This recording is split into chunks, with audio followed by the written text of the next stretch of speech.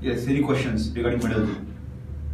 You understood, no? It's a very Yeah, simple this I understood, but I always go back to foreign languages Okay. like Japanese. And how do you determine whether there is any zones? Now, Japanese also, if you show the handwriting, if you watch the handwriting carefully, you will come to know that there is middle zone most of the time in Japanese also. At times they have this, you know, I don't, I, I'm not a, you know, at times they like, the, these things are there, these things are there, right? So now, since the discussion is there, let's go to foreign languages. Now, do you remember the, have you seen any Chinese old movies, old Chinese movies? Hmm. Generally martial art. No, no, you have seen. Yeah. Great.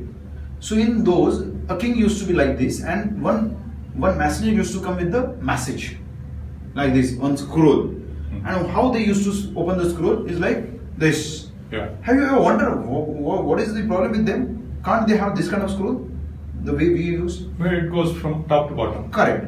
Because they used to write from top to bottom. We write from left to right, right? They write top to bottom. Now they have changed again. Chinese just now they have changed in the last two three years. Okay. So from where they are going from? They are from upper zone. They are going to lower, Lower zone, zone. right?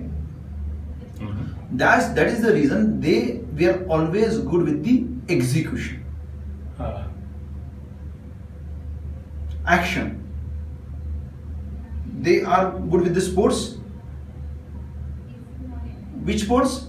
Individual sports. The reason we learn today only why they are good with the individual sports. But the reason is, but the thing is, they are more into action. That's why the kung fu, martial art, uh, what is that splitting जहाँ पे होता है वो uh, aerobics, aerobics, Aerobics. नहीं no aerobics Aerobics. Athletics में athletics athletics में आता ना वो जहाँ पे जो खाली हाथ खेला पाते हैं। हाँ। Gymnastics they are good with that execution they are very good